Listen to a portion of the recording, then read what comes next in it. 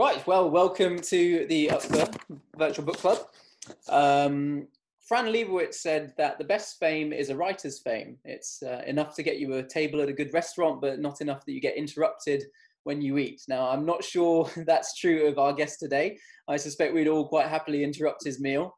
After all, few historians have over a million followers on Twitter for those of you who aren't in the know, William Dalrymple is arguably one of Britain's greatest historians. I first came across his work when I was gifted the Wolfson Prize winning White Mughals, a book that became instrumental in my own personal journey towards understanding my mixed British Indian identity. It's what led to Both Not Half. I'm also incredibly grateful to Amandeep, um, of course, for the honour of hosting today's conversation. It means, means a great deal to me. Uh, William's other works include the Duff Cooper Prize winning Last Mughal and the Hemingway and Kapuscinski Prize winning Return of a King. He's written and presented three television series. He's been awarded five honorary doctorates. He's a fellow of the Royal Society of Literature, the Royal Asiatic Society, the Royal Society of Edinburgh, but simply he is writing royalty. But his crowning moment perhaps was in uh, 2018 when he was presented with the prestigious President's Medal by the British Academy in recognition of his outstanding literary achievement and for co-founding the Jaipur Literature Festival. But he didn't stop there. In 2019, he released his most ambitious work to date, which we are discussing today. The Anarchy, the relentless rise of the East India Company, or as it's known in India, the Anarchy, the East India Company, corporate violence, and the pillage of empire. Please join me in welcoming William Dalrymple. You're very kind, Jassa. I'd swap it all for a place on Peaky Blinders, but I, I, thought I'd give you some applause since we don't have any applause today. Um, I want to kick off by uh, doing what they say to never do, which is to judge a book by its cover. Uh, the uh, two different covers for two different markets. On the left, we've got uh, the cover that was released in the UK, um, where we have you know sepoys standing attentively to attention, and then on on the right, we've got um, the cover that was released in India um, with a very different subheading as well and um, and conflict ensuing. Do you think this? I think I just want to start here because I feel like this perhaps reveals Britain's discomfort with its imperial past, and I was wondering whether that was something you were looking to address um, when it came to writing this book. I think you're absolutely right, Jess. I mean, this, of course, is not uh, my uh, decision. With um, covers and, and titles and subtitles, the author suddenly finds himself in a very different world from the interior of the book, where you are king more or less. But with the cover, uh, you are at the mercy of marketing departments, publicity teams, uh, and multiple board meetings where, where people decide. And the bigger the book is, I mean, the more they hope to sell, the more, the, in a sense, that their influence uh, gets uh, the final say. And there is, in fact, a third cover, which you haven't got here, which is the American one, uh, which yeah. has the third picture. Uh, and Which uh, would have been the one that uh, Obama was reading, I guess, when he had picked it as his well, favorite book of 2019. Interestingly, not uh, Obama uh, when he put it down uh, with his um, books of the year actually chose the English oh, really? subtitle. So I suspect he picked it up on a kind of sitting on in, in, in the VIP lounge in Heathrow or something, where, where, he got it. But he, he he was clearly reading the British the British edition, and the subtitle didn't put him off. But right. uh, what I can assure people is that the the inside uh, is identical in all editions. There's no uh, different text for different markets. It's uh, it's the same message. Uh, and frankly, I, I, at the end of the day, I think any author is probably uh, quite wise to take the advice of his publishers as they have better ideas what's going to sell than than not. And the key thing is to get read. But you're right. There is, I think, you know, there's a, a huge denial in Britain about empire, uh, about everything to do with uh, the, uh, not just the Raj, but the British Empire as a whole. And um, it, I mean, for those of you, I, I, see from the hellos coming up on the chat that uh, uh, people are watching this from all over the world. And I think those not in Britain will be astonished to discover that the British Empire simply doesn't feature on any UK uh, history syllabus. Yeah, it's something that I never came across at school. It's your your work's been um, sort of the real the introduction that sort of led me to seek out other stuff. Well, I think it's a real problem because British kids move from the Tudors, from Henry to Hitler, uh, and they the only things they, they learn in between that have an international thing is a little bit about uh, William Wilberforce and the abolition of the slave trade, and then there's a bit of Florence Nightingale and the uh, and the Crimean War. And so the impression is given that, that the British are always on the side of the angels, that we're, we're that you know we fought the great anti-racist battle against the Nazis, that we got rid of the slave trade. And so British kids are brought up smugly believing that you know their ancestors were rather heroic and did nothing they should be ashamed of. Um, and everywhere else in the world, people learn a very different story about in every continent. People learn stories about British troops coming, taking the freedom of whether they're uh, Australians or, or uh, um, South Africans or Canada or America uh, or India. And I think it's a, I think it's a, a really dangerous situation where most British people do not know about the Irish potato famine.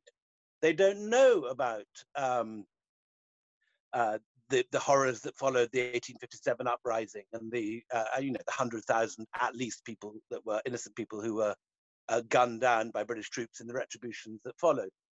And as a result, the British habitually misjudge their place in the world.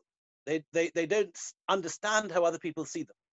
So, and that showed most obviously after Brexit, when the first thing that happened was that Theresa May took a British delegation of businessmen, including vice chancellors of universities. I mean, a really big massive, uh, starry delegation of the pick of uh, a British industry uh, and uh, education and so on, defense, all these different sectors came with her. And the idea was, you know, we'd pissed off the French and the Germans, but the Indians love us. We'll go back to India. And this was literally labeled in Whitehall Empire 2.0. I'm not making that up. That no, yeah, I remember seeing the headlines. Yeah, what they called it. And of course, they arrived, and it and it went down into a tailspin within a day when uh, uh, Theresa May got to meet Modi. And when Modi learned that she wouldn't be giving any more places at university or any more visa, uh, uh, no flexibility on visas for Indians coming to Britain, he just shut down the visit. And I actually ended up being invited to dinner that night with some of the vice chancellors. Um, the, the, the then Minister for Education, Jo Johnson, was a friend from when he lived in Delhi and it was like a funeral. And all these people had come out all the way to India in order to make this triumphant reassertion of, of the old friendship between India and Britain as they saw it. Uh, and of course, they just got a, they just got a bloody nose, went home with nothing. Mm. And so I think well, this is you know really one of the reasons I wrote this book um, was to try and teach the British that particularly it's particularly clear with the East India Company, which is the first two thirds of the story of British in India, mm-hmm. because you know there is no uh, question of this being done for philanthropic reasons. I mean, there's a whole school of thought in Britain whereby the empire was basically a sort of extended uh, Save the Children Fund mission to you know yeah. feed the starving children of India.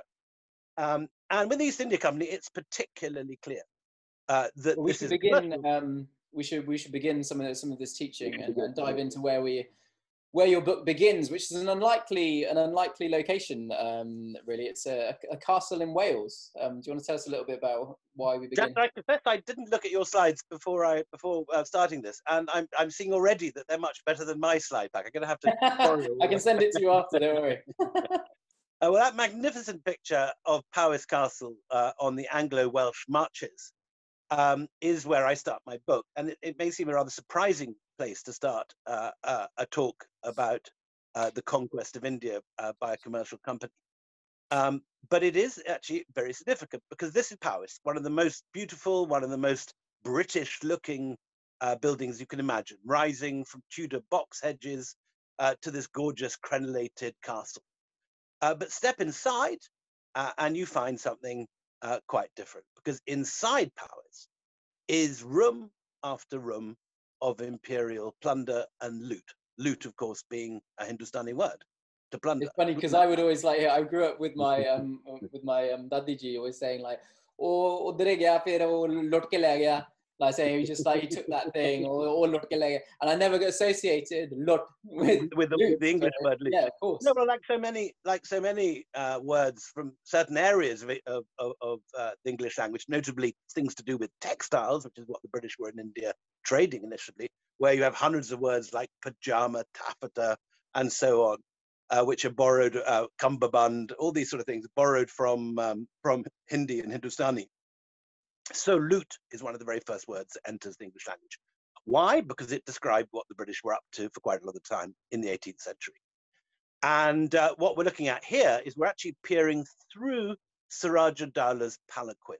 This was the palanquin he abandoned on the Battle of Plassey uh, when he was set up by his bankers, the Jagat Seths, who were these who were like the Rothschilds of uh, of India, these incredibly powerful bankers, who were uh, paying both the East India Company of Clive and uh, the rebels uh, uh, of um, uh, under Mir Jafar to fight um, and and and in modern parlance do regime change to get rid of Siraj Dowlah and replace it with someone more acceptable to the Jagat Seths. And in the course of the battle, the, the palanquin is left there, and you can see through the glass of this palanquin to the rest of the room, which is full of elephant armor, talwars, shields, ivory chess pieces, uh, bits of Tipu Sultan's throne. In fact, more uh, Indo-Islamic uh, loot and plunder, more uh, Indo-Islamic artworks than exist uh, in any one collection in India, even the National Museum in Delhi, even more than the museum in Lahore. Uh, nothing like it in Afghanistan or Bangladesh. And here it is sitting in a private house in the Welsh countryside. And to me, that represents um, a whole side of the British uh, presence in India that we've wiped from the memory. This, this fact that we went there uh, and that we um, took so much back through loot, plunder, and asset stripping.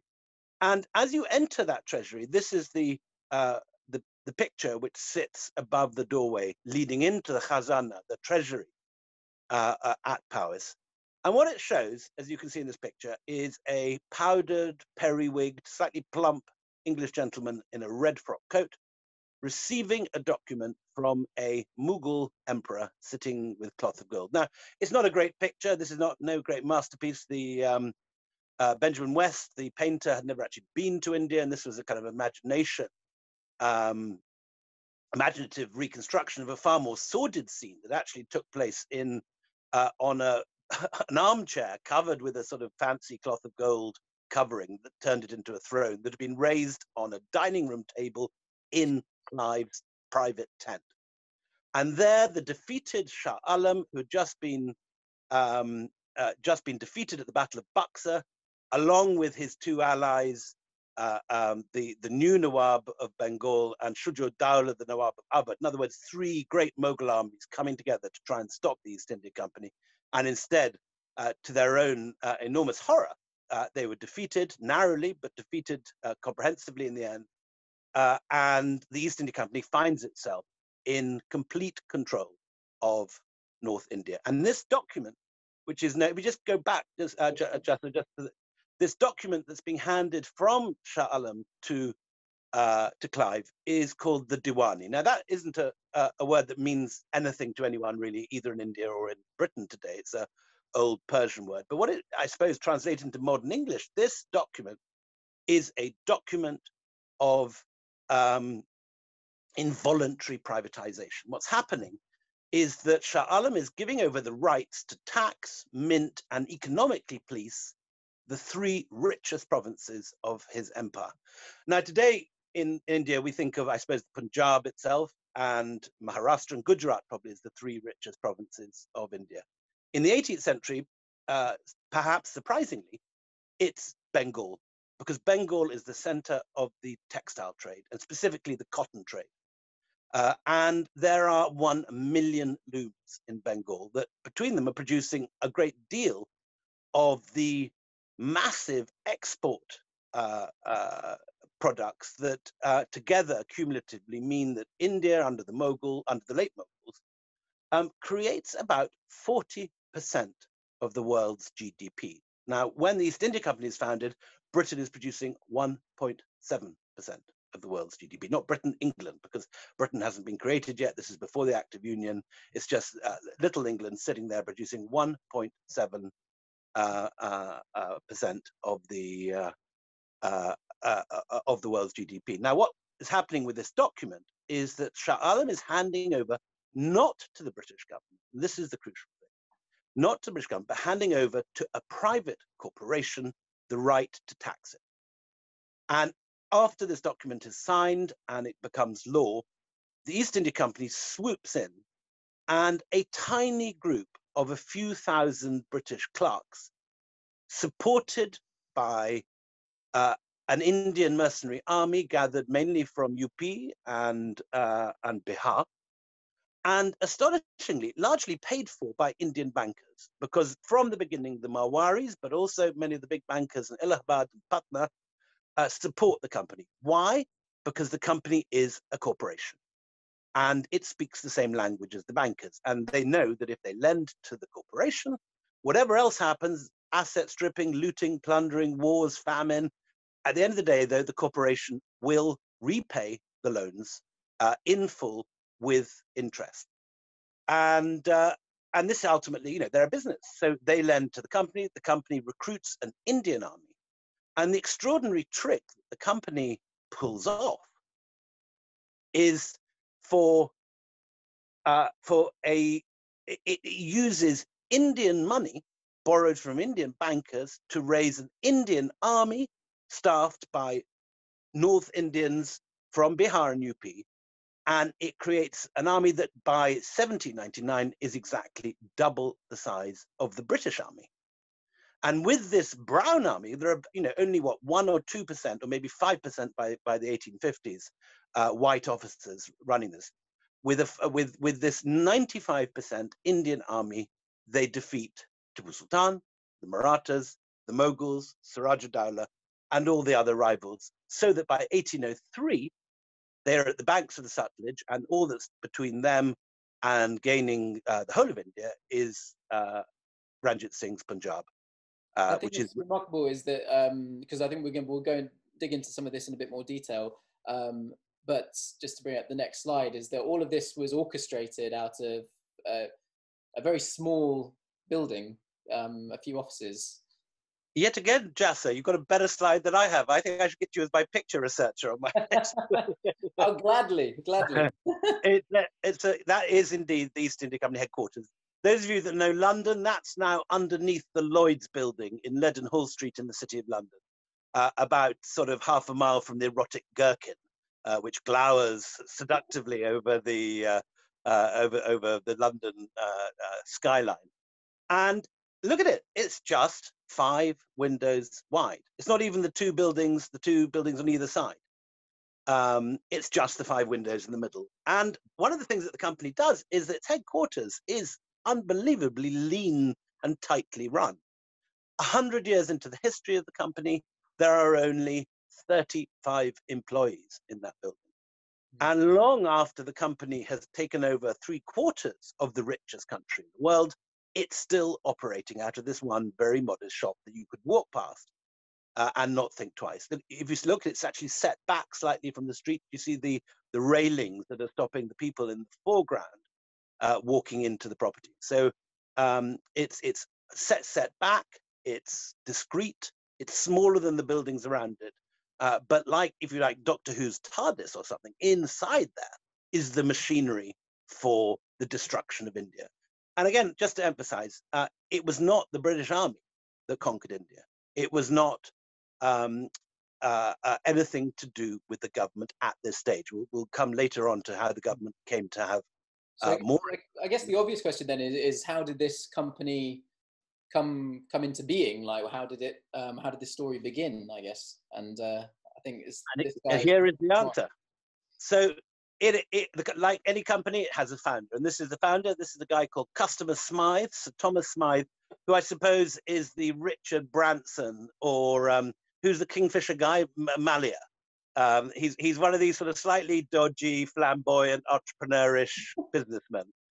Uh, and his dad has made a fortune before him, and he then makes a fortune uh, importing currants from the Greek islands, which apparently is a big thing in Tudor cookery, um, and a good source of sweetness at a time when there's no chocolate around, uh, or Mars bars, or Lion bars, or, or gulab jamuns, or anything. and that would be my, my go-to. And so, uh, so Thomas Smythe uh, makes a, a fortune uh, by founding something called the Levant Company with a few mates, and he uh, starts trading in spices, which he imports from Aleppo, Cairo, and Venice.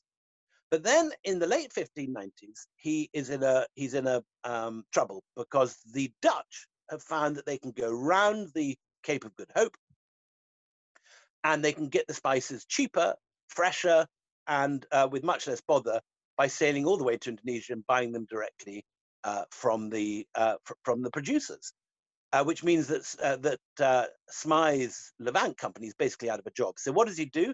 He he appeal he invents a new business model.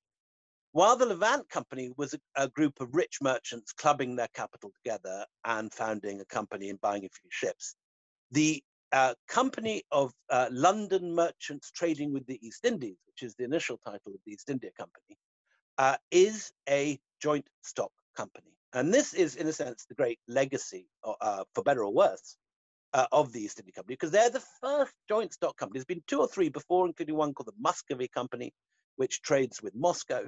But this is really the first uh, joint stock company which realizes that if a whole load of individuals put their money down, and this list on the right is the initial subscribers, uh, ranging from the uh, uh, the mayor of London, who's the first name, who puts in 200 pounds. You can see the second guy has contributed a thousand. Uh, a few pages on, it, though, it's people who describe themselves as vintners or hosiers or haberdashers. In other words, small London businessmen, and they're putting in a fiver or a tenner uh, worth a lot more in those days. And uh, and they don't have to play any executive role in the business. They don't have to have board meetings. Uh, they don't need to do anything other than invest their money and then take a share of the profits. And this is exactly what happened. Uh, so there's no mix of mix of people from all walks of life that that contributed. So was, it, was, it, a success from the off then, or, or, or so it? I mean, in retrospect, because we know the East India Company is a huge success business-wise. It makes fortunes, but at the time, there's no indication that's necessarily the case. Uh, because at this point, 1599, the year that Shakespeare is writing Hamlet, um, while the Portuguese and the Spanish already have massive empires uh, and control great chunks of Latin America and are shipping gold and tin and silver back from uh, Colombia and Mexico, um, the English have really done nothing. They've got one failed colony uh, on the coast of America, which hasn't. Uh, uh, they've, uh, they've they're just about to found Virginia, which will take a lot of the investment that could have gone into the Company. Um, and this guy, Sir James Lancaster, who's chosen to be the captain of the First Fleet, has, has just come back from a trip to the Moluccas. He got there, but he didn't get back. He, he sank his fleet uh, on the way home, and many of his men were eaten by cannibals. Uh, and he managed to ha- uh, he managed to sort of hitch a lift from another passing ship and make it back eventually to England. Uh, so, in other words, you know, there's absolutely no guarantee at this stage that the company is going to be able to even bring a single peppercorn back from Indonesia. Mm. But they buy a good ship. They buy a they buy a pirate ship actually, which has been previously. It had a glorious name, didn't it? Yeah, it had, had been called uh, the uh, um, was it the Scourge of Malice? Uh, it, sounds, it, sounds, like something from a Johnny Depp Pirates of the Caribbean film. Yeah, yeah. and they renamed it um, the Red the Red Lion, as if it was just a pub on the corner somewhere. Um, and they sail off, and initially it doesn't go very well. They get they get stuck outside uh, the um, uh, the just in the in the channel because there's no wind. They set off in the middle of summer, and everyone comes and laughs at them and says they're never going to make it even to France, never mind to Indonesia, the Moluccas. But they do set off, they do make it. And as they're approaching the Moluccas, they see a Portuguese carrack coming the opposite direction. And um, everyone's asking about whether the can- cannibalism is a myth. That could easily be a myth. I don't know for sure what happened, but uh, certainly Sir James Lancaster crew was killed by uh, angry islanders on the island that uh, uh, uh, sank it. Anyway, they, they see a Portuguese carrack coming in the opposite direction, and as Sir James Lancaster's crew are very largely uh, pirates, they simply jump on the Portuguese ship, um, throw the sailors into the water, and decant the cargo of spices from the Portuguese ship into the English one, then sail home. Am I right in and, thinking that this sort of act, these acts of piracy became condoned? Is this where it was sort of the word wasn't pirates; they were known as privateers. Uh, I think. Absolutely right, and uh, they had they had royal charters. So the kind of you know the traditional English behaviour at football matches has a long uh, uh, sort of ancestry uh, in, in privateering, and uh, and this sort of national talent for thuggery then, of course, gets channeled into into further empire building throughout throughout the next. I'm also curious. I, I, included this image on the right because it was one that really struck me when I was reading the book. Uh, was basically to try and figure out how the British were viewed in India at the time. And there's there's the the, um, the tropes and the uh, of um, miniature paintings, which I hadn't I didn't really know, and there's something to do with the way in which um, James I in this image is is positioned, which suggests how low down the agenda the English were at this time. Right. So what you've got here is uh, Jahangir uh, handing a book to a Sufi. And this is Jahangir shown, uh, the art historians tell us, as the millennial sultan. This was all, you know, rather like the, we all got excited about the millennium bug uh, as the millennium approached. Uh, so uh, Jahangir was seen as this sort of figure on the cusp of history. Uh, and uh, he's sitting on an hourglass with the sun behind him, with putti floating around.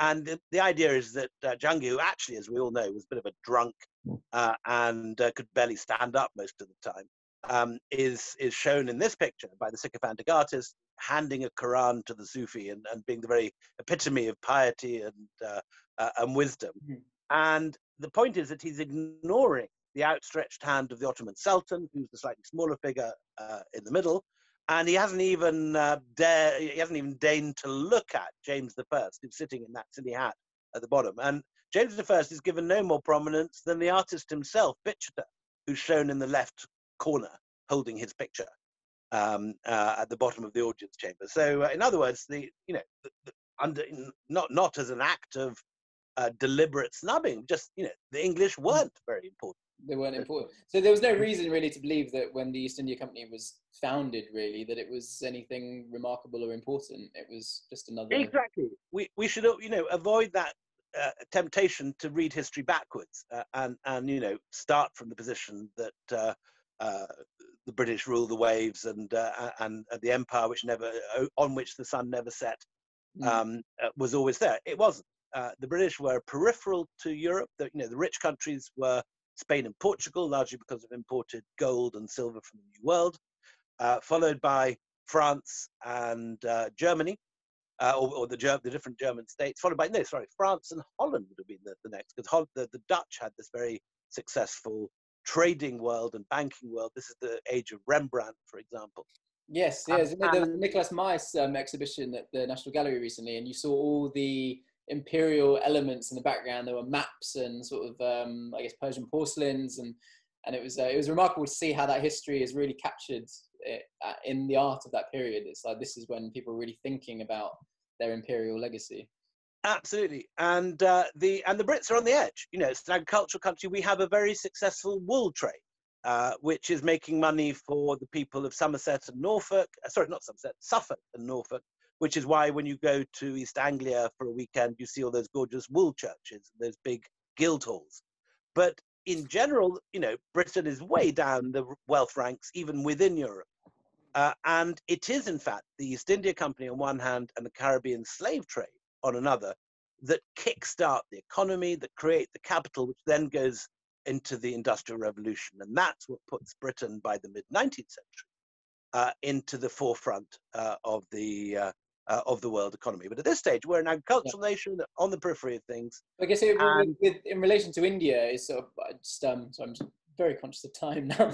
Um, is that uh, how did this transition happen, where the Mughals didn't care about the English, and, and then suddenly there's this shift, the Mughals seem to fall from power and fall from grace. Correct. Um, so on the left, you've got, you've got, Akbar hand uh, holding one of his multi-religious discussion groups. He's got a couple of uh, uh of uh, Goan Jesuits, perhaps on the left, maybe a Sunni and a Shia uh, beside them, Hindus, Vaishnav and Shaivite, uh, Jains, Jews from Cochin, all of these people gathered by Akbar. And it is this multi-religious um, attempt to to bring all the different peoples of India together that creates the, the power and wealth of the Mughal Empire. And this is destroyed by Aurangzeb, who's the middle picture, sitting on his charger with his elephant, with his uh, sort of horse armor, uh, and um, the, and this kind of wonderful um, uh, uh halo around his head. And Aurangzeb initially is very successful. He overthrows a couple of the Deccan sultanates, uh, Bijapur and Golconda, uh, but then unleashes the power of the Marathas from their fastness, their, their uh, citadels, uh, those magnificent Maratha forts, which, uh, if anyone hasn't been listening, has not gone uh, to visit uh, uh, up in the Ghats, you've got a great treat ahead of you, one winter journey. and so the Marathas rebel in the Deccan and soon a burning Surat, which is the big Mughal port. meanwhile, the Sikhs are gathering their strength in the Punjab. Uh, and here we have your namesake, uh, uh, Baba Jassa Singh Ahluwalia, uh, the bearded one, uh, as opposed to the, the, the, the film star. And, uh, and he's at this point, I suppose, gathering the misls of the Punjab in resistance against the Mughals. So what you see is this period of history, which was called in both Persian and in European accounts of the time, the anarchy, hence the title of this book when what had been a unified, centralized Mughal state uh, uh, with four million men under arms shatters and fragments into a fragment of, uh, uh or, into a, a, series of rebellious polities. And the final thing that happens in the 1739 is what we see in front of us here. Uh, Muhammad Shah Rangila, who's a kind of cross-dressing playboy who loves music, incidentally a great fan of the uh, the sitar, which had been a Punjabi folk instrument up until this point, when uh, Muhammad Shah Rangila introduced it to court, but less adept on the battlefield. And at Karnal in 1739, 1.5 million Mughals are defeated by a mere 60,000 Persian cavalry of Nadir Shah, who's the guy with the hat on the right. And Nadir Shah wins because he's got the latest military gizmo, which is called, which is this sort of uh, massive horse-borne jezail um, called the swivel gun, which can pierce Mughal armor. And in a single action, uh, he, he destroys the Mughal crack troops. Uh, he then invites um, uh, uh Muhammad Shah Rangila to dinner. The idiot goes. Uh, and at the end of a very nice dinner, he's arrested. Nadir Shah rides him into his own city the next day. And six weeks later, he leaves with the Kohinoor the Peacock Throne, the Darya-Noor, the entire Mughal treasury, and 6,000 wagons filled with gold and jewels. And this is the money which has been used to keep the Mughal state together. It pays the army, it pays the bureaucracy. Without that money, the thing collapses. And it, it, the Mughal uh, empire shatters in a matter of years into this fragmented world where every single town in Rajasthan Jaipur, Udaipur, Jodhpur is its own state, where Tanjore is fighting uh, the Nawab of Arcot, where Hyderabad is fighting the Marathas. And it's as if you just take a big Baroque mirror and toss it out the window, and it shatters into a, a, a thousand pieces. And it's that, it, I mean, it, this has two effects. First, culturally, this is great because suddenly you have the money in Jodhpur or Jaipur. You don't send your taxes off to Delhi. You build yourself a wonderful Durbar hall. You uh, import the best artists and Nautch girls and gorgeous musicians. Uh, and this produces a cultural flower. The 18th century is one of the great periods of, of Indian cultural history. But in terms of military might, it's a catastrophe because uh, you have a whole load of um, uh, uh, competing polities rather than one big. I guess it sort of created a, a, a, void, or I guess a, a market for military services. Exactly, Jassa. You you've been you've been reading all the right books, uh, and uh, and this lot this this picture looks like a sort of gay pride parade in Madras, but it's actually this is the cutting edge um, uh, uh, military hardware of the mid 18th century. And these guys, in their natty little shorts that look like they've been imported by French Vogue, uh, are in fact uh, the first European trained infantry troops. Uh, and this new form of cavalry that involved taking ordinary uh, fighting men, uh, not the big sort of, you know, uh, heavy cavalry from posh families, but these are just ordinary fighting men.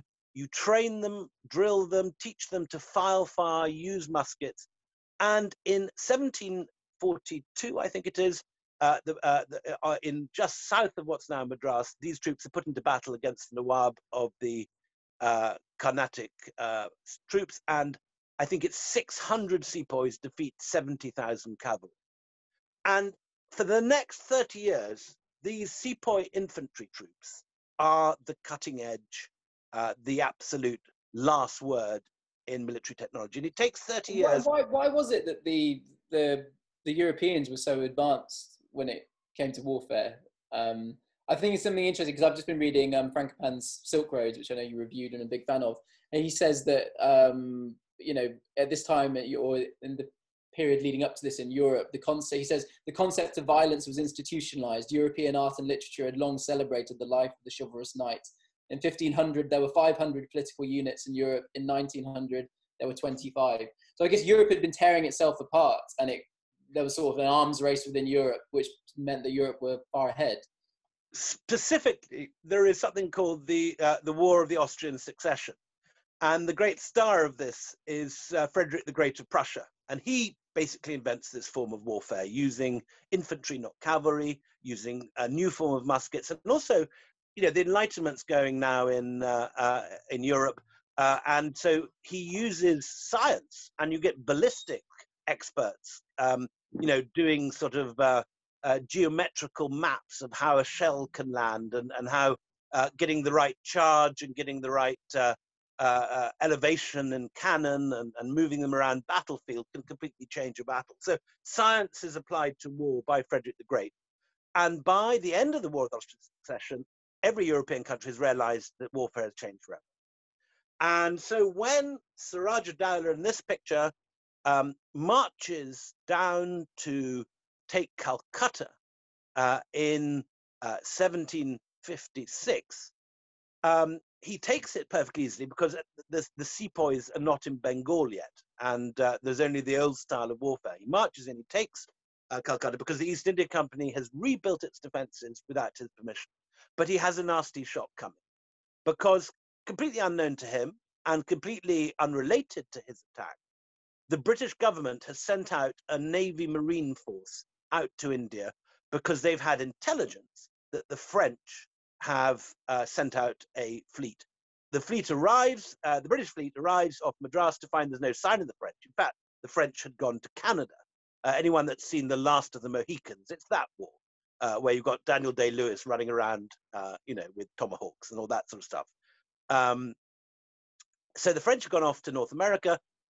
Clive arrives all the way um, uh, to, uh, uh, to, to Madras to find he hasn't got a battle. Then three days later, the news comes of the fall of Calcutta. So he just sails his troops up the Ganges. He retakes Calcutta. Uh, the Seven Year War then is formally uh, uh, declared. He, so he attacks the French headquarters in. Uh, he's remarkably young at this age, isn't he? He's, I mean, this painting makes him seem like a seasoned. Yeah, he's, he, this is yeah, this is this is exactly the man. Uh, he's he's I think he's in his thirties. Uh, he's already fought a series of campaigns in his twenties in the Carnatic. He's gone back. He's he's tried to be an MP, and now he's come out for a second spell in India and as luck will have it, the Seven Year War is about to break out, so he's got a great uh, fleet of, uh, of Royal Navy Marines behind him. They, they take Chandanagar, and then this crucial thing happens. The Jagat Seth, the big banker of Bengal, who's invented very clever financial mechanisms for, um, for moving money from Bengal to Delhi uh, and taking a cut of it on the way. Um, so the Jagat Seth just writes to uh, uh, Clive and says, um, listen, I want to get rid of Siraj-ud-Dowlah. He's threatened to circumcise me if I don't lend him money. I will pay you two million pounds personally, and I will pay the East India Company a further two million pounds if you get rid of Siraj-ud-Dowlah. So Clive doesn't even bother checking with anyone. He just goes north. He fights the Battle of Plassey. The uh, main general on the other side is also in Suraja Dowlah's pay, Mir Jafar and uh, they replace uh, Siraj-ud-Dowlah is killed and murdered. Um, and next day, Clive walks into the Murshidabad treasury and simply helps himself to all the gold and jewels. He then helps himself to 40 boatloads that he can't put in his pockets and punts it down to Calcutta. And that is the fortune which begins the East India Company's move from being a very successful trading organization to being a uh, a, a, a, military uh, force. Uh, seven years later, they fight the Battle of Buxar against Shah Alam, that, that image we saw earlier of the Diwani. And by 1765, the East India Company controls most of North India, most of what's today UP and Bihar and Bengal. Um, and I just um, this up because I thought now would be a good time to talk about your your um, your Guardian piece um, from earlier in the year about about Clive because there is a statue to Clive that is up um, in uh, outside. I think it's the the Foreign and Commonwealth Office.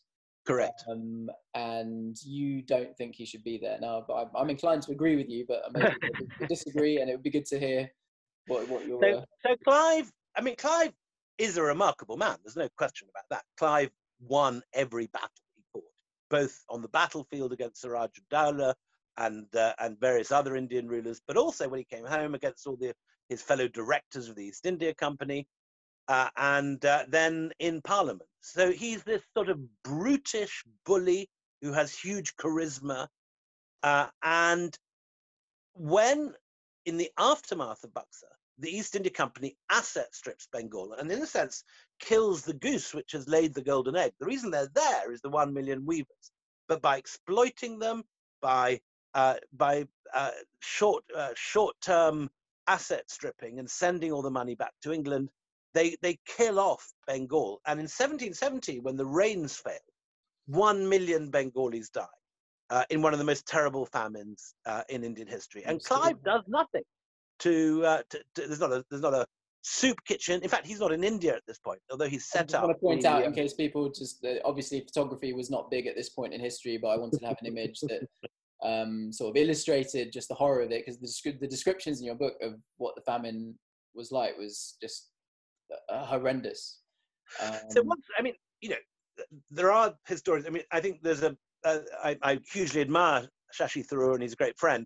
In his book, he says that uh, there were no famines before the British came. I don't accept that. There are there were many famines in Indian history before the British, and there are accounts of them by Russian travelers, by uh, various other observers at different times. But, and this is the important point, pre-colonial rulers, if they were remotely uh, uh, competent, used to keep granaries for lean year.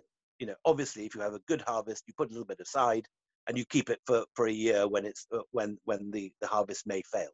The company didn't do that. Secondly, if there is a famine, most um, uh, proper uh, uh, competent uh, Indian rulers would create famine relief measures. They, they'd build some enormous building, like, for example, the great uh, Imam at uh, in Lucknow, and and give you know one rupee a day to, to, to starving people so they could buy dal and rice and not starve. Um, so uh, the company does nothing. There are one or two individual company servants who do set up soup kitchens.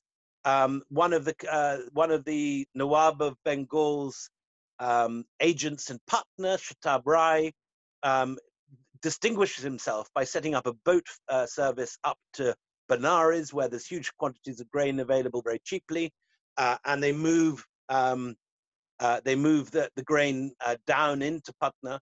But the company, is, as an institution, does not do one single soup kitchen. It's not they're, they're not interested in that. They're there to make a profit. They don't see it as their job to look after the Indians. They see it uh, their job is to collect money and administer taxes. and during No. the famine as well, they the, am I right in thinking that they taxes were still collected and the company. uh, Am I right? I think I remember they they, they awarded themselves an increase in their Not just uh, not just uh, taxes are still collected. I mean, again, it was a typical Indian response of Indian rulers to famine that you uh, you don't collect taxes in famine years for obvious reasons. Um, but the the company, uh, as a bureaucratic organization, says uh, uh, you must pay your taxes in full. And in this year, they actually send the sepoys out into the field, uh, and um, uh, the taxes are gathered not only in full but with an extra 10% or something on them. When the news arrives in England that um, uh, the taxes have been uh, gathered in full despite the famine, the shareholders of the East India Company at the annual general meeting vote for an increase in their dividend from the usual 10% to 12.5%, even though they know 1 million Indians have died, plus the gibbets that have been set up to uh, to hang anyone who doesn't pay their taxes in full. now have um, uh, now have the uh, uh, uh, our force. There's a horrific scenes. we should move on from this distressing slide. Yes, yes. I'm just going to circle back to. Um, so this was after the Battle of Buxar, I believe. Yeah.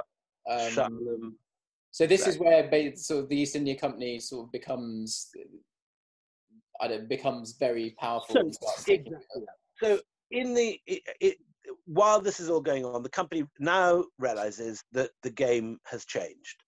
Um, in the old days, in order to buy the cotton and the silk they were going to trade with, they had to bring out a huge amount of gold bullion from London, uh, melt it down, and then pay the merchants gold and silver for the things they bought. But after the Plassey and Buxar, they realized that they could merely tax Indians' land tax and use that money to buy the cotton and silk which going to trade. In other words, they get their trading goods for free.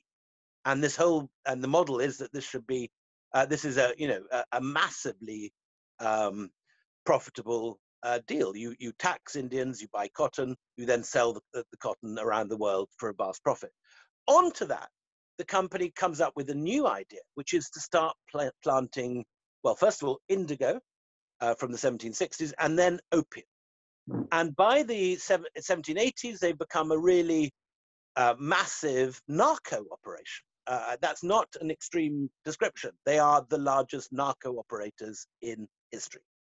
Uh, they fight two opium wars with the Chinese, who obviously don't want um, uh, any uh, uh, opium sold in in their country. It's illegal to smoke opium in China, but the East India Company ignores this. It seizes Hong Kong as a base uh, incidentally, many Parsis and many Marwaris set up businesses joining in the opium trade. So uh, again, you've always, I think, a very important thing. Um, when I'm giving this talk in London, I tend to emphasize uh, the uh, violence and criminality of the East India Company. When I give the talk in India, uh, I think it's very important to emphasize the collaboration um, because it was a collaborative process. Uh, and the troops that are fighting the war are Indian troops the bankers who are lending the money are Indian bankers, and it is the Indian merchant classes who are doing extremely well out of this. After the catastrophe of the anarchy, when they couldn't move around India or sell stuff, they now suddenly find that the East India Company, whatever else it does, uh, promotes business. And Calcutta at this point is like Dubai or Singapore. You don't pay tax, it's a tax free zone. Uh, so you get the reason the Marwaris are in Bengal to this day is that at this point they moved down en masse from outside Jodhpur uh, to Calcutta, where they set themselves up tax-free uh, operating, and they're the ones who, who finance the opium trade. So you have by the early 19th century an, um, a narcotics business, uh, which makes the Medellin cartel look like Andy Pandy in the pajamas. Uh, it's just, uh, uh, I mean, it is an absolutely vast thing. And what you have at this point uh, is this vast army. Here are all the sepoys, two hundred thousand. I just wanted to punctuate some of this well because there was a lot. Of, there was a lot of exploitation. All of this was going on, um, but at the same time, these images that we're looking at are actually part of. There was a a creative scene that was developing, and I think just wanted to touch on this because the Forgotten Masters exhibition at the Wallace Collection is, is I think, closing. Still on for another two weeks. Uh, yeah. It's on to the 16th of September. So this is and... Of Vellore, who very, is very heavily featured at that um, exhibition, which is fantastic. I recommend everyone go see it while they can with their masks on. Um, but um, but yeah, so it was there was a um, I guess an artisan scene that was being. Uh, That's right. I mean, what's patronized. interesting about the East India Company is that it, it is you know we're so used to the image of the Raj. The Raj only lasts ninety years, eighteen fifty eight to nineteen forty seven. The East India Company lasts two hundred and fifty years, and it, there are things you know there are pros and cons about both periods. The Raj you have complete racial separation. Uh, east is east and west is west, never the twain shall meet. There's virtually no intermarriage. The civil lines are for the Europeans, the black towns, as they're called, are for Indians. You have the famous sign on the Simla Mall saying no dogs and Indians. But there is at least some notion in the Raj that universities should be built, hospitals should be built, railways should be built. There is at least some, at least window dressing that this is a, uh, this is meant to be a, uh, a, an empire which benefits both sides. But with the company, you've got none of that hypocrisy. It is very clearly there only for profit, but it shares the profits with its Indian collaborators. So you find at this point uh, many Indian merchants joining with the company, many Indian bankers. You also find a huge amount of intermarriage. So far from the kind of east is east and west is west, uh, my book White Mughals tells the story of how at this point one in three British men in India is married to an Indian woman. Which uh, I find really fascinating. This really that I mean, like I said, that was the, my first um, the first book of yours that I read, which really just made me realize because I think I'd really I'd really taken on this idea that it was the Raj, Raj, Raj, Raj, and I just didn't know how deep and how long the history was pre-Raj. That was something quite incredible. It, it, the figures are just it's very simple. You know, the East India Company is founded in 1600 and carries on till 1858, which is 258 years. The Raj starts in 1858 and ends in 1947, which is 90 years. And yet, for some reason, it's the Raj with Kipling and Curzon and uh, you know the, the, the, imperial Durbar, and the Maharajas, and all that stuff, which dominates in, in everyone's mind of the British in India. We think of that uh, that Kipling image, and uh, the the reality is is quite other. You know, it's the East India Company, the the, the straightforward commercial take, uh, which which is the longer lasting, uh, and this is the reason that there is this huge Anglo-Indian population in Calcutta at this time. Uh, Calcutta is, is about 50% Anglo-Indian in the 18th century. Uh, another thing. So um, I'm just conscious of time, but the, so the implications of the East India Company were not just like as you said of the Opium Wars, but I think interestingly, well it, it links to the Boston Tea Party quite directly as well. I, I, I, just made an error. I said uh, Calcutta is is is 50%. I, sorry, that figure is not correct. I think it's 20% Anglo-Indian uh, at this period, uh, uh, an important difference. So yes, going back to, to uh, the global reach of the company. So you have the company takes over North India, it plants opium in Bengal, it sells the opium in China. In China, it uses the profits to buy tea. The tea is shipped first to India, then to Europe, and finally to America. And it's East India Company tea that's being poured in, in Boston Harbor at the Boston Tea Party with another brilliant Jassa Ahluwalia slide, which I'm going to borrow for my next presentation. Uh, uh, wonderful picture there. But yes, that is an East India Company ship, not a British government ship, uh, whose tea is being shoved into the. And one of the things that we've forgotten, uh, or the Americans have forgotten in their account of the revolution, is um, is the role of the East India Company. And the East India Company is seen to be the demon. Uh, and there's a huge amount of uh, American anti-East India Company literature in the run-up to the Boston Tea Party, which kicks off the American Revolution. Uh, and the only person I know who's written really well on this is Emma Rothschild, the, the wife of uh, Amartya Sen. Uh, and her essays on the East India Company, and the American Revolution, were, were fascinating to read for me. Uh, but this, but what the, the, picture you've got to get in your heads now is that the East India Company has transfo- transformed itself from this small Tudor half-cock company that's that's always in awe of the Dutch to now the world's first massive multinational. Uh, what you've put up here very nicely is the enormous sort of Buckingham Palace-like facade of the East India Company headquarters by the uh, early 19th century. And here are the director's boardroom inside. From that room, the small inset picture uh, is decided all the uh, decisions about India. So what Racecourse Road and Modi's bungalow is today, uh, that director's boardroom was by 1800. And this is when sort of shipping goes into overdrive and building yeah. and yeah. Exactly. So you've got two pictures of different East India Company docks. At the bottom, you've got the Mast House and Brunswick dock, which is where all the clippers are made. And these are the clippers which will now sail out and move opium, tea, and cotton around the world. And uh, they're the East India Company docks where the finished ships are loaded. Uh, and this is now, I mean, today to take this picture, uh, uh, to take a photograph of this, you'd have to stand uh, at the top floor of Canary Wharf, which almost exactly is the vantage point. I don't know whether the, the Daniells got into a balloon or something, or whether they imagined this picture and worked it out. But uh, it, that bend in the river is literally the view you get from Canary Wharf uh, if you go up that tower. Um, so the company is now the biggest taxpayer in Britain. Um, someone just put up a question saying Amazon, Microsoft. Jeff Bezos is the very nearest equivalent to the East India Company today in the you know this great chunk of global trade that he controls under one single corporate head. Uh, obviously, neither Jeff Bezos nor um, uh, even Huawei uh, or um, uh, uh, Microsoft or Google or one of the big American oil companies like Exxon, Exxon on its own, incidentally, if it were a country, um, would be the 14th biggest uh, G, GDP in the world. But all these American companies, for all their power, do not obviously have an army bigger than the American army. While the East India Company had an army that was twice the size of the British uh, Empire. So the final question is how does this sort of unravel?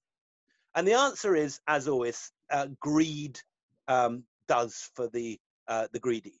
Which and um, the famine, which then I think links us on to to this gentleman. And uh... exactly. So the famine uh, breaks out in 1770, and for two years they continue to gather uh, um, taxes at full whack, which is ultimately counterproductive because there's no seed grains to plant. The famine gets worse, uh, and uh, a million Bengalis die uh, and it's a catastrophe.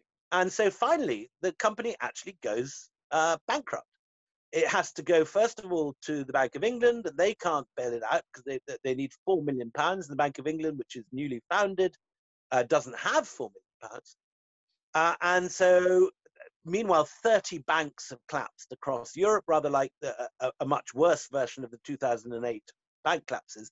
But the East India Company, unlike Lehman Brothers, is too big to fail. It provides 50% of British customs at this period, and the government needs it to survive. So the, uh, they go to Parliament, and Parliament bails it out and basically takes a 50% share, rather like uh, the, uh, uh, uh Brown's government did with NatWest, uh, and, and, create and turn NatWest into a, a sort of semi-public-private partnership. So from 1774, for the first time, the East India Company moves from being, you know, kind of libertarian wet dream, this sort of completely unregulated corporate monster that was able to do whatever it liked in India, to being increasingly a government controlled organ of state. And that increases uh, from the 1774 Regulating Act. Government control is increased again in the 1784 Pitt's India Act. Uh, and uh, the final, uh, yes, Warren Hastings is uh, is sent out by the uh, uh, is made the first governor general. He's actually a much more attractive character than Clive, and in many ways, the wrong guy ends up being impeached by Parliament. Uh, yeah, obviously, because he he's he's impeached and sort of held up as like the the the scourge. Um, but it was very much he was very much an Indophile. Um, he sort of, he fought right. a duel with a racist. Exactly that. So, um, so no, I mean, uh, uh, Warren Hastings' early letters read like Guardian editorials. He, he's fulminating against um, the uh, uh, uh, against the injustices. Someone's just put up about Sheridan's speech at the the, at the uh, impeachment of Warren Hastings. Yes, very powerful stuff, but based on a bunch of lies told by a guy called Philip Francis, who was Warren Hastings' big enemy. They fought a duel. Hayes, Francis came back and basically framed Hastings Hastings was not a bad guy. He, he was an Indophile. He spoke Bengali, Hindustani, Persian. He read the Bhagavad Gita. He tried to base his life on the, uh, uh, on the Gita's teachings. He said he loved India a little more than my own country. He'd been there since the age of 16. He, he does uh, famine relief measures of, of, exactly the sort that Clive failed to do. Uh, and he uh, tries very hard to rein in the, uh, the avarice of many of the company's uh, uh, factors. Nonetheless, he is, you know, in charge of the company, and the company is deeply extractive, and uh, he fights a long, hard battle in uh, for his uh, during his impeachment, and after ten years, he is acquitted of all charges. But by this stage, the government's claws are firmly into this uh, corporation. By the 1830s, the, the, the, the East India Company no longer trades. First of all, it loses its monopoly, then it stops trading and becomes merely a governing corporation, rather like the BBC, uh, the British Broadcasting Corporation, which is one of the last corporations of this sort left. And um, then in 1857, there is the Great Uprising, not by the initially by the people of India, not by the Marathas, least of all by the Sikhs, who by this stage are now re- being recruited into the East India Company uh, armies. Uh, it is the the largely the Hindu sepoys who rise up, and they put a Mughal emperor on the throne. Bahadur Shah Zafar uh, is the nominal figurehead of this uprising, even though he's a peaceable 82 year old poet at this point. And uh, it was the company when, that were being rebelled against here, not the British government as such. Exactly. And it's, the, and it's led by the East India Company's own sepoys. Although there are, particularly in Lucknow, it turns into a mass uprising. I mean, the, the 1857 uprising is a very complicated thing. It's different things in different places. Mm-hmm. Uh, for example, it's quite different in, in Delhi, where the, the sepoys are seen as outsiders and they're called Telingas, as if they're from Telangana. Um, uh, although most of them are just from Bihar, in fact. But the, the, you know, they're rather like uh, Delhi Wallahs today regard Biharis as slightly sort of hairy uh, out, outliers from the from the boonies. Uh, so the posh Delhi Wallahs like Ghalib look with horror on these uh, uh, on these sepoys coming in, while in Lucknow they're local boys and the whole population joins. So it's a complicated thing that happens in 1858, and we won't go 57 to 8, and we won't go into it now. But the main point here that's the main it, thing. Yeah, it's crushed. It's put down with terrible brutality, uh, and um, about hundred thousand people are killed, particularly in the Ganges basin, particularly between Kanpur, Lucknow, and Delhi. Uh, there's mass slaughter of innocent civilians and terrible, terrible uh, uh retribution. Uh, for example, innocent bypassers in Kanpur are made to lick up the blood of the slaughtered memsahibs in, in the room where they were killed. This sort of, I mean, it's one of the dark. It's the, it's the nearest you get to the British behaving like like Nazi stormtroopers. Uh, and no, I found really quite shocking is to discover Sikh complicity in these acts of um, torture and violence. That was something that reading the Last Mughal I was really st- struck by. Um, I know it's not particular. You, you don't dive into the history of Punjab or the Sikhs, but I was wondering, kind of, what was the the re- why were the Sikhs so um, involved, and why did they support the company? So it's a complicated story again, and uh, I'm probably the wrong person to answer the question. But my understanding is that the Sikhs had uh, a huge dislike of the Hindu sepoys who had been part of the who'd, who'd, who'd done the atrocities in the Punjab during the uh, in the aftermath of the two Sikh wars. Uh, whatever the reason, whatever the um, however you want to explain it, the fact was that the Sikhs remained loyal to the East India Company, who they'd fought only ten years before. Uh, the Second Anglo-Sikh was what 1842. Uh, uh, you, know this, you know this better than I. Uh, uh, and this second 1848 to 49. 1848. So this is only, yeah, I mean, 50, this is literally nine years earlier. And I think second. it's because I think the Anglo-Sikh wars are largely forgotten because the mutiny came to dominate the, the popular consciousness at this time. So, I mean, it is a surprise that, you know, this is literally eight, nine years after the Second Anglo-Sikh War, and yet the Sikhs remain loyal to the company and don't join the Hindu sepoys. Now, I, I can't explain that, but that is what happened. And certainly, um, there is um, account uh, uh, out there, uh, eyewitness accounts of many of the, for example, Mughal. I think I think the other thing was that it was see, you know, uh, the Indian nationalist accounts of 1857 have slightly written out the central role of the Mughals uh, at least as, as nominal figureheads. Because and, you refer to it in your book as the uprising. You don't call it a rebellion, mutiny, war of independence. It's, I just try and avoid the, uh, the, yeah. It's it's a very politicized thing, rather like the Aryan invasion debate. No one right. can sort of take a neutral stance. I I, I sidestepped it, just called it the uprising, the Great Uprising. Um, but and the, this, uh, um, sorry, I'm just very conscious of time. And I know people have questions, but um, the uprising was essentially then what what spelt the end of the East India Company. Yeah, I mean, such is the fiasco, such is the death and uh, mayhem and destruction. The British press mainly, obviously, concentrates on the on the on the mayhem and destruction to British people, uh, but uh, there is some uh, reporting by William Howard Russell of the Times of the massive Indian death uh, toll uh, during this period, and, and the shooting, blowing from the mouths of cannon of the of the, the people that the British describe as mutineers. And in 1858, in reaction to this fiasco, Parliament votes to uh, effectively nationalize the East India Company. And uh, at the same place where the Diwani was signed between Shah Alam and uh, Robert Clive in that painting we saw at the beginning of the talk, um, the, uh, the Governor General declares the end of the East India Company and the beginning of the direct rule as a British colony in the Raj. But as we said, this only lasts 90 years. Mm-hmm. Uh, and by 1947, uh, India is free. So this is, yeah, the, the timeline that we can see how it all... Uh... 39 to 42, first uh, Anglo-Afghan War, 45 to 46, first Anglo-Sikh War, 48 49, second Anglo-Sikh War. Uh, just on the um, yeah. Anglo-Afghan War, because this is something where uh, some of the Sikh history comes into it in your book, um, Return of a King.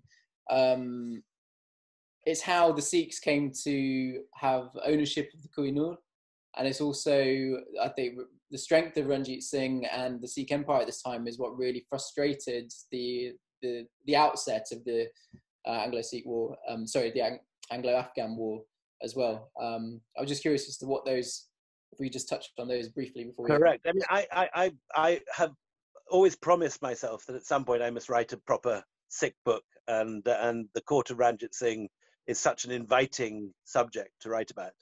Uh, and there's so much material between India, Pakistan, and uh, uh, and London that uh, it, it, would be a, a, wonderful project for the future. Um, uh, but at the moment, yes, I'm afraid I'm, I'm afraid a researcher. I'll, the Sikhs, uh, the Sikhs are on, on the edge of my of my of my genre rather than at the centre. So forgive me for uh, uh, for not being better versed in my Sikh history, everyone.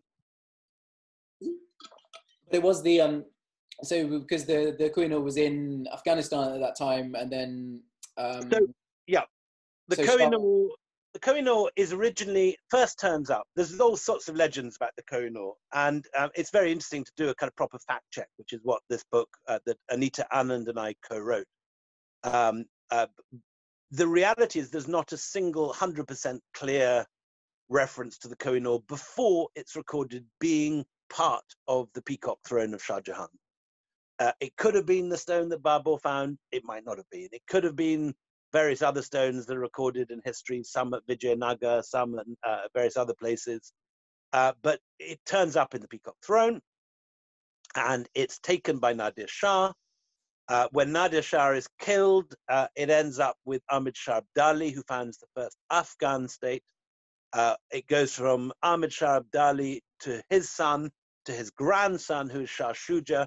And Shah Shuja is sprung from prison in Kashmir by Ranjit Singh. And the deal he's made with, with uh, Shah Shuja's wife uh, uh, uh, is that um, in return, the Kohinoor will be handed over. Now, uh, when, when Shah Shuja hears this, he's horrified, doesn't want to give the, um, uh, the diamond at all. But according to him, and, and you can, you know, choose to believe that he was not telling the truth or not, as you wish. But according to his memoirs, very clearly, Ranjit Singh tortured his son in front of him until he handed it over. So eventually he hands it over to uh, to Ranjit Singh, and Ranjit Singh, who doesn't normally like finery, he is very simple. You know, at a time when people wear these magnificent kit, Ranjit Singh's often in very simple white pajamas. But the thing he loves is the uh, is the Kohinoor, and he wears it for all big important state occasions. And that's the first time the British see it on his arm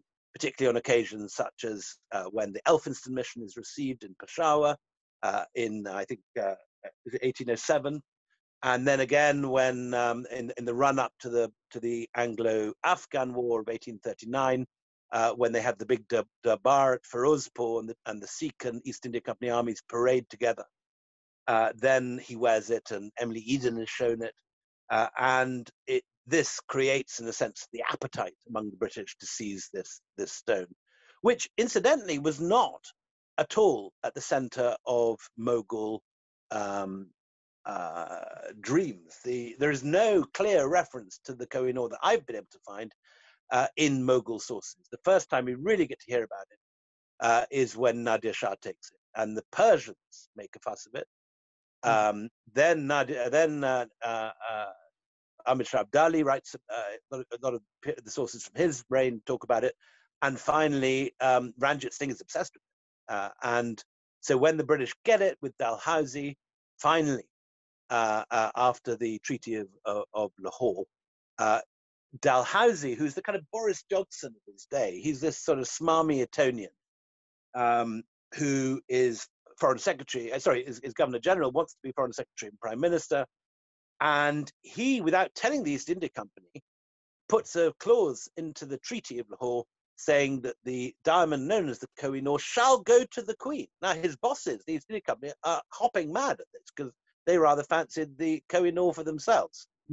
Um. But when, but when, but with the news that he's defeated uh, uh, Duleep Singh uh, and the Sikhs, comes the news that it's the Queen that's going to get it. Obviously, what he wants to do is he wants the Queen to make him Prime Minister uh, as a thank you present. Uh, and indeed, uh, this is what he, he's after. He only gets as far as Foreign Secretary, unlike Boris Johnson, as we all know to our cost now. Anyway, that's mm. a side. How do you feel about the stone? Where, cause, am I right in thinking the Queen, our, our current Queen, has never actually worn it?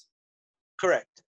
Um, the last time it was worn was by the um, was well, it was on the Queen Mother's crown, mm-hmm. um, and it was at her uh, laying in of state. People that went to that laying in at Westminster Hall described how, in the twilight of Westminster Hall, with the coffin at the end of the room, uh, in the dying light of day, the Kohinoor still had the capacity to fill the room with with with light. It, it, it caught the dying sun in Westminster Hall, beamed out this sort of magical light. Uh, mm. So it still has its own power, dividing and uh, uh, and destroying and uh, creating envy. There are currently five governments after it, not just India, but also Pakistan, Bangladesh, the Afghans, and the Taliban.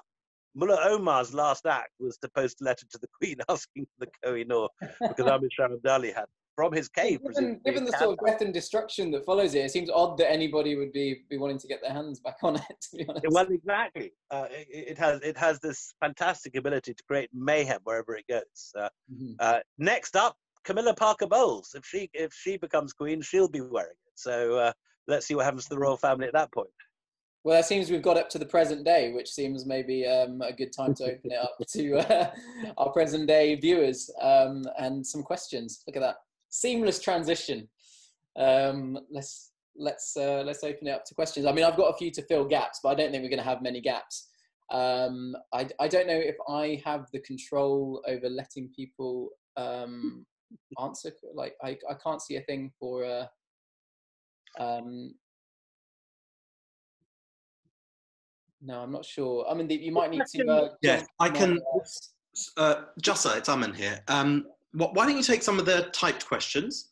And then okay. in the meantime, if anyone wants to ask a question, put your hand up on the on um, the app, and then uh, we'll we'll try to call out some names in a bit, Jassa. But okay. why don't you go with the typed questions first? Great. I'm, I'm going to dive straight in firstly with the with the top voted one um, before I, I haven't had a chance to really look through these yet. But uh, Robin Percival says Boris Johnson says, I think it's time we stopped our cringing embarrassment about our history, about our traditions, and about our culture, and we stop this general fight of self recrimination and wetness. Do you think he has people like you in mind when he said this? And more importantly, do you agree? Well, I've never said this in public, but I know that his father, Stanley, got the anarchy for his, for his birthday when he was at Czech, so he might well have me in mind. um,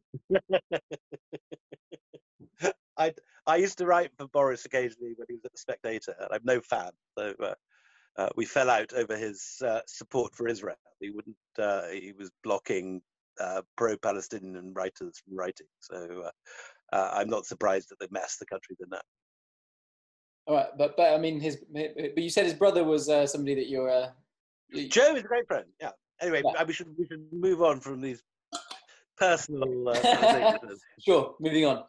Okay. Um, what are William's thoughts about the Topple the Racist campaign? Some of their targets do indeed include statues like Colston, those directly linked with the slave trade, colonialism, others less so, and are perhaps less culpable, like the memorial to Sir Walter Raleigh Gilbert in Bodmin Beacon, a British Army officer from the 19th uh, century. I, I, believe this might be uh, Hardeep who um, wrote uh, recently for The Spectator about this statue in particular. I think it's interesting, yeah, because there are, you know, at what point where are we celebrating? Are we remembering? Is it documentation history? Where, where do those lines? Where do you feel those lines um, need to be drawn?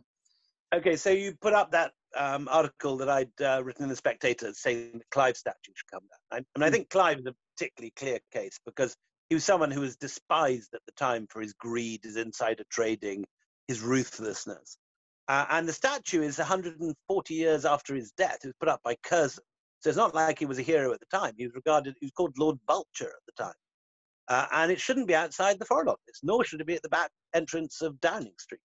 Uh, this is not a national hero by any means. This is a deeply ruthless, corrupt corporate villain. I mean, he, in my book, he's very much kind of the Lord Voldemort of peace. He, he, he's a very dodgy character. So um, I would certainly take Clive down. I mean, I think what this country really badly needs is a very good, balanced museum of colonialism. Uh, mm. and um, the I was recently in Washington, and there's a spectacular museum. At the African American Museum there has the most moving and brilliant and balanced display about slavery and that is full of statues of slavers and uh, slaving memorabilia. And you know, I think you could happily take down a few uh, statues in very prominent places of East India Company magnates and create a really good museum out of it and teach people the history of colonialism, uh, the bad stuff, but also you know some of the stuff we can be more proud of, like you know James Prinsep translating the Ashoka uh, script and uh, uh, and the, the rediscovery of, of India's Buddhist past and these kind of things. You know, there are. It's not as if it's an unmitigated history of complete horror. Uh, there are things the British people can be proud of in, in their history, but nonetheless, they need to know the really nasty stuff, which they're not being taught. So my my view would be to take down some of the statues and help and, and help find a. I mean, there's you know a new site in the East End that uh, the V&A is opening up uh, called uh, V&A East, if, if something like that could be found to start a really good museum of colonialism modeled on the African American museum. And it's the same thing in that why is there an African American museum in Washington? Because it's central to the identity of African Americans. In the same way, every brown person in this country uh, is confronted by a statue like Clive sitting outside the Foreign Office. It is not an easy thing to live with, particularly if it isn't mediated by a modern plaque explaining in a balanced way both sides of the story. Um, so my my my strong feeling is that we need to take some of these things down, create a good museum, and find a way through the very difficult uh, difficult way of, of of presenting a past that modern Britain can un, uh, allow modern Britain to understand their place in the world, what they've done, what their forebears done, and then move on in the way that the Germans have. Mm-hmm. Um, and we are not doing that. Uh, at the moment, we have this huge romance about the Raj. And we, you know, the British understand that the Belgian Empire was something hideously evil, where people had their arms cut off, they didn't cut a certain amount of uh, rubber a day. People understand that the German colonies in East Africa were hideously exploitative, and obviously the Third Reich was worse. But they somehow um, still believe that you know, the British was one enormous big merchant ivory film writ large over the plains of Hindustan with smiling Maharajas, uh, lovely elephants, and people playing croquet and having tea, and nice, you know, British ladies in crinolines under parasols sweeping over lawns. And it turned into some sort of spectacular romance. And the reality this was about exploitation. No empire ever has been built for the benefit of the colonized. Every empire is built for the benefit of the, of the colonist whether it's the, the, the, English in Ireland, whether it's the Dutch in the East Indies, whether it's the Romans in Gaul, it's the same story. Uh, and the British have just got to get a bit real about this. Uh, and I think I think it's actually terribly important. I think it's a major issue of our time. And I say this is the reason really I wrote the book. Right. Oh, let's take some questions um, from people over the uh, over the phone. I don't know over the internet. Um, so I'm going to open up the chat. Um, let's go first to, uh, I think, Suresh. Uh, he's got his hand up. Um, I'm just going to open up the chat. Suresh, I think you, oh, hang on. I don't know how to do Hi. Oh, there, is that working? I, I, I just have one question. Can, can you hear me? I can hear you but not see you. I can just see a big Q&A in front of me. That's fine. If, if you can hear me, that's enough. The, William, the question I have for you is oh, if, you if Bonaparte's, if Napoleon Bonaparte's reinforcements had reached Tipu Sultan in time for him to be able to defeat the British, is there any likelihood uh, that India could have progressed to be a French colony than an English colony? Was that a critical battle there? I think one of the things that might have happened would be one of the great culinary enterprises of history. If you look at French colonies like Lebanon, the uh, delicious food when you get French chefs meeting with Arab chefs, the uh, can you imagine what might have happened in, uh, in, in, in, Indian cooking? But uh, uh, that sort of counterfactual is great fun. I don't know whether one can ever really guess what actually would have happened. I mean, I think there's every reason to believe that had Napoleon got to India, he could have toppled the company. The question then, though, is would he have given India freedom? The chances are probably not. Uh, he would have just added it to the French Empire. So I don't think anyone would have been much further forward.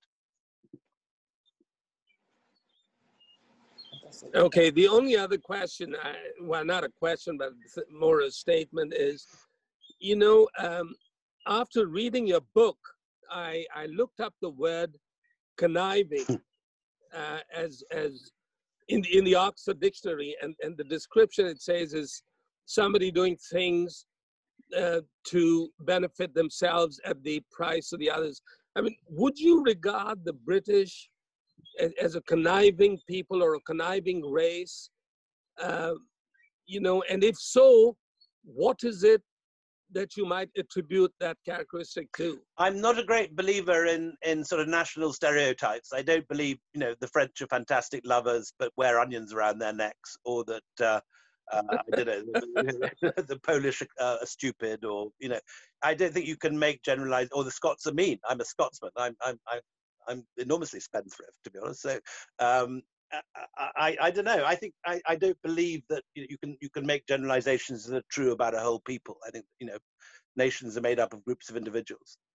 Um, what you can say though is that um, the British Empire was really like any other empire. It was done for the benefit of the colonizers, and just like the Dutch, Portuguese, um, even if you go back in uh, in in Indian history, look at the Chola navies raiding Sumatra Malaya, and Sri Lanka um, in order to uh, get dominance of the trade of the Bay of Bengal in the, in the 12th century. Uh, most nations, when they are strong, have used that strength to enrich themselves. And that seems to me to be a constant in history. Um, so I don't think that you can point to a particular characteristic in the British character and say that's the reason the British Empire happened. The reason the British Empire happened was that the British had a period of strength that lasted about 300 or 250 years, uh, and they did exactly the same as the Romans and every other people, the Spanish, uh, who've ever had power, the, the, the Han Chinese, uh, the Tang Chinese, you know, they, they extended their power over those that were militarily weaker than them, and they and they exploited them. Uh, it's not. William last, William last, uh, not not a question, but just an observation. Are you aware that the Scots tried to copy the British and tried uh, in an attempt to colonize uh, Panama? In fact, they even set up a set up a company along the lines of the East India Company, and the whole whole attempt was a total disaster. I am aware. No, it's. I mean, it, it, for for us Scots, the Darien the Darien scheme is is an essential part of our history because it was the catastrophe of Darien that propelled the Scottish elite, with, with my family among them, uh, to sign the Act of Union and in 1707 join uh, uh, to create uh, the British uh, kingdom. Uh, it wasn't the it wasn't the British who kept the Scots out of out of the East India Company. It was the English, and the British became the British in 1707 at the Act of Union. Um, uh, but yes, no, you're quite right. It's a crucial moment, and the failure of the Scots to do their own colony was very much uh, one of the uh, reasons for the East India Company, and one of the things that lured the Scottish elite to agreeing to the union was the promise of of uh, uh, opportunities and patronage in the East India Company.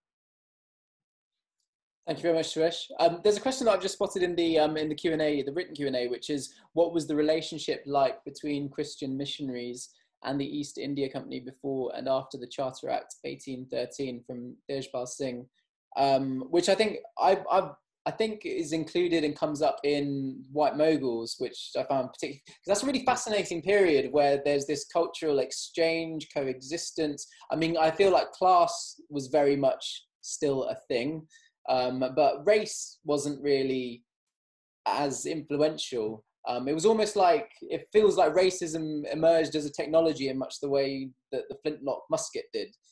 Um, I was wondering if you could just like offer some insight into that, that period of time. Yes, so um, I we have in the British Library in London all the wills of all the Brits that went out to India with the East India Company, and you can read every single one of them. The reason they're there is that there used to be so many squabbles over the, the estates. You know, a guy would die in Bengal of smallpox or cholera, and all his relations suddenly want the money and there'd be endless arguments. So the company came up with this thing whereby you send a will back and those are kept in large leather bound volumes in the British Library and you can look at them. Now, they're, they're bound in 10 year groups. And I spent six months going through every single one uh, when I was in 1999 when I was beginning White Mughals. And in 1760 to 1780, one in three Brits is leaving everything to an Anglo-Indian child or a uh, Indian woman. Um, 1800 to 1810, it's about one in four. 1810 to uh, 1820, it's about one in five. And by 1830 to 1840, there are almost no Indian women mentioned in wills. Uh, it's it's fallen out. So that kind of cohabitation uh, uh ends. Why did it end? Partly because of the missionaries.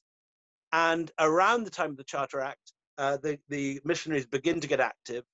And uh, the missionaries who were initially discouraged and who are then again discouraged during the Raj have this great moment of uh, freedom to preach and uh, collaboration with the East India Company between about 1820 and 1850. The result is the uprising. And it is fear of conversion uh, more than anything else, certainly in the Delhi stuff that I've read. Um, I haven't studied Lucknow and, and the other centers, but I've studied Delhi uh, very closely in the last Mughal.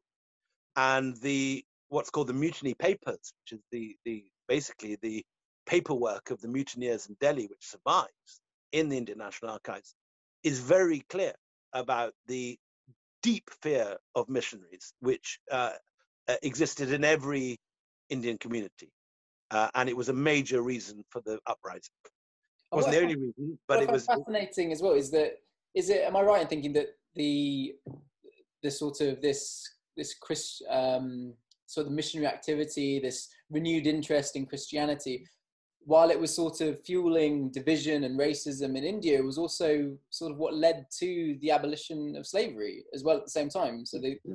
it's a measure of the complexity of history. The same evangelicals who wants um, slaves free. Why? So that they can be free to choose Jesus. That's the that's the thinking. Mm. Uh, according to Christian theology, you can't have Christianity forced on you. You have to freely choose it. So uh, one of the things that, that, motivated Wilberforce, though you don't see this obviously in the films and things, which are, mm. you know, it, it, they make it look like a stirring human rights, uh, you know, civil rights movement. Um, but the uh, um, one of the things that motivated a lot of the evangelicals to support the liberation of the slaves was the opportunity to preach to them after they were free. Yeah. Um, and uh, those same people are pressing for uh, the conversion, often by force. Um, I mean, I mean sorry, that, that's contradiction terms.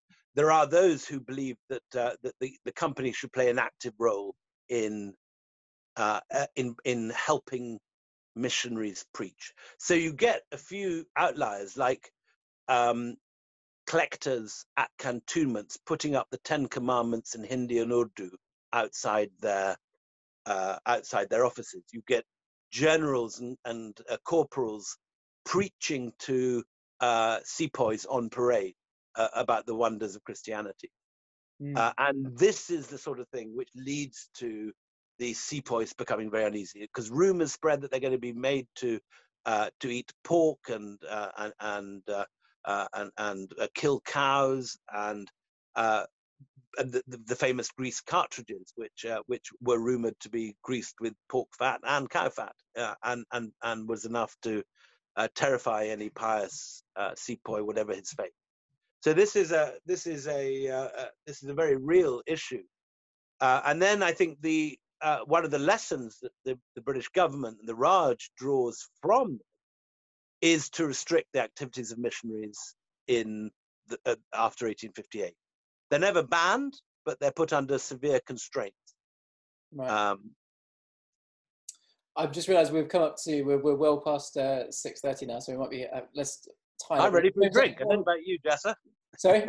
I'm ready for a drink. if we just take one last question, uh, I know Serena's been waiting um, eagerly, and uh, we'll take one last question, and then we'll um, yeah we'll crack open a bottle. Serena, are you there? Oh yeah, I'm here. Hey. Hello, Serena. Hi. Um, so yeah, so my questions. Um, how do you think institutions like museums can tackle the narrative of empire? Because you know, growing up, I didn't actually learn anything about empire or India's contribution to things like the World War. So, you know, it feels quite empty, and you don't recognize. There's no recognition for, you know, for for the empire for parts of the empire. And um, the question kind of comes about because um, when I went to the Natural History Museum this year in January, I saw a placard of the Kohinoor diamond that was being kept there temporarily and it said it was given to Queen Victoria in 1850. But there's so much, such a lack of context there that you know I, I wasn't impressed with it, and actually that that makes people like people don't want to then investigate because they're quite satisfied with that answer that it was just given to Queen Victoria. So how do you think um, large institutions like museums can tackle uh, the empire I mean, narrative. speaking, it was given to Queen Victoria, but by the East India Company, who had yeah. taken it by taken it by force from, uh, from poor Duleep Singh at the age of yeah. whatever he was, nine. Um, so it's, it, I mean, as I said, my, my um, model for this would be the uh, African American Museum in Washington, which right. you know does just as difficult a task of of finding a way through a political morass, mm. and uh, uh, uh, uh, you know the most in America, obviously, you know the racial issue is one of the most important fault lines uh, in American society, and yet this museum has found a way through. I've I've met right wing friends, uh, very conservative people who've gone to that museum and broken down in tears at what they saw. Mm and it's done not by bludgeoning people with with horror, but it's done with great subtlety. And uh, if uh, if I mean uh, it, that encouraged me to believe that you can create a narrative that everyone can subscribe to. I mean, in a sense, that's also what I've been trying to do with the anarchy. Yeah. Um, and I've been very pleased to see that you know it was. I think if you if you get it right, you can find a narrative that that will satisfy an Indian audience, but will also explain things to a pretty ignorant British audience. Yeah. And I think I was lucky that, in a sense, everyone understands the fear of corporations. We live in a time when we're very worried about the power of Jeff Bezos and Google and so on. and because the Brits just didn't haven't taken in that this was a corporate enterprise, in a sense, they didn't have their defenses up against it. You see what I'm trying to say? That they yeah that, that by seeing it as a, a, a corporate issue mm, yeah. rather than directly the responsibility of the British people and government, mm. the British were able to take on board the atrocities which took place and to look on it with a measure of objectivity. So I don't think it's impossible to create a narrative which can uh, which can be accepted by both sides. I think it can be done, um, and um, and I think it's very important that it happens. I mean, I, I mean, I really, really believe that uh, Boris Johnson's government, people like Michael Gove, mm. Theresa May, represent a huge swathe of British opinion that just doesn't know about this stuff. And Boris can talk all he likes about, you know, wet liberals and bedwetters, or I don't, I don't know what language he used was, but, but um, frankly, that just represents his ignorance. He's mm. not a hmm. historian. You know, he knows his classics, uh, and he's pretty good on the age of Augustus. But I wish he knew a bit more about the age of Clive and the age of Queen Victoria. well, I think William, your book's um, probably going a long way to um, to help. Let's hope Stanley gives him the book back. um, we're. I guess we, we, we need to call it a day. Um, we thank you very much for uh, giving us so Thank much. you, everyone. Sat Sri Akal ji. Thank you, Jassa. Thank you, Aman. Thank you very much. Amandeep, um, would you like to jump back on just to say a few words about the um, the, uh, the the prize, the prizes? What is it? The books, the the, the giveaway, um, and what people need to giveaway do. books. It's the survey's gone up multiple times. I'm not going to keep you. I'm not going to keep William any longer. William, thank you so much indeed. That was a marathon uh, session. Enjoyed every single minute of it. Uh, You're very sweet, sir. Thank you so much. so much. Very kind. Jassa, you were amazing. Thank you. Thank, Thank you very I much. want those slides. I'm going to steal those slides. I'll send them over. Thank you. Thank you. Have a good evening. Bye bye. Bye, everyone.